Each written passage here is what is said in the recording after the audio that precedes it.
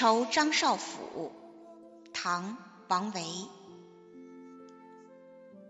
晚年唯好静，万事不关心。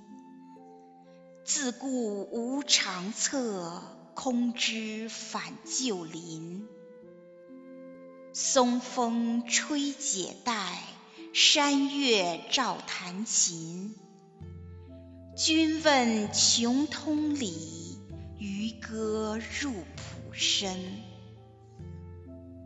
这首诗的意思是说，人到晚年就特别喜好安静，对人间万事都漠不关心，自私没有高策可以报效国家，只要求归隐家乡的山林。